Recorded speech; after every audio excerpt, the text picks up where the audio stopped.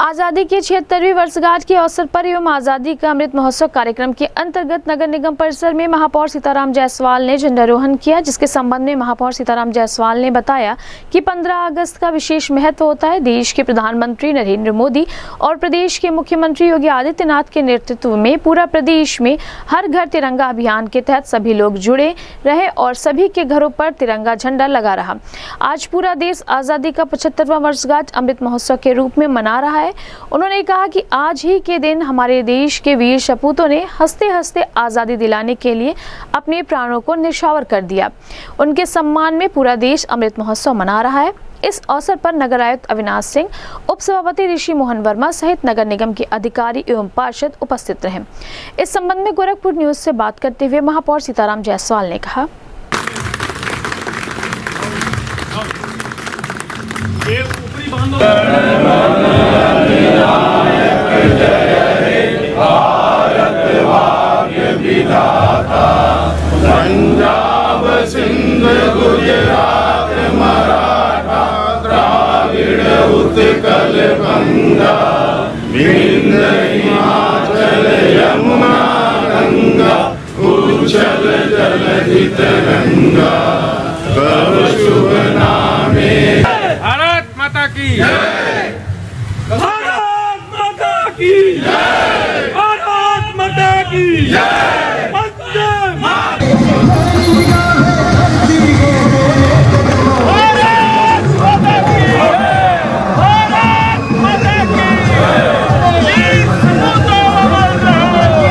आज 15 अगस्त का विशेष महत्व है।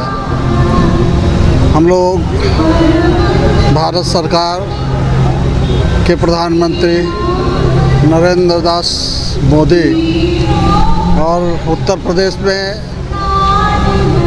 माननीय मुख्यमंत्री योगी आदित्यनाथ जी के नेतृत्व में पूरे प्रदेश में घर घर तिरंगा अभियान के साथ जुड़े हैं। मैंने देखा है, जिधर से निकला हूँ, हर घरों पर तिरंगा लगा हुआ है।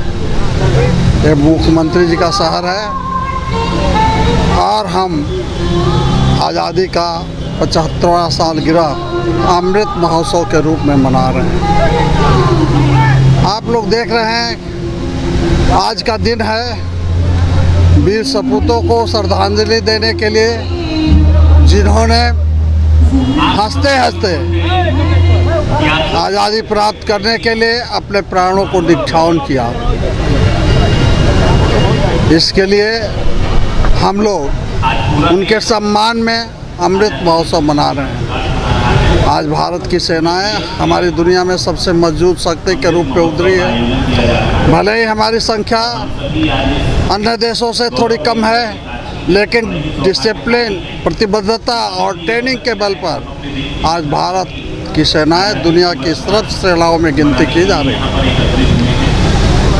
भारत ने बहुत उन्नति की है पचहत्तर साल में।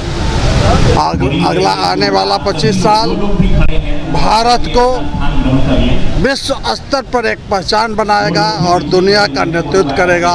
ये योजना लेकर भारत सरकार हमारे मोदी जी चल रहे हैं। मैं आज के दिन शहरवासियों को स्वतंत्रता दिवस के पचहत्तरवें वर्षगांठ पर, अमृत महोत्सव के अवसर पर, नगर निगम परिवार के तरफ़ से, सभी पार्षदों के परिवार के परिवार के तरफ़ से अधिकारियों की तरफ़ से बहुत बहुत बधाई और शुभकामनाएँ देता हूँ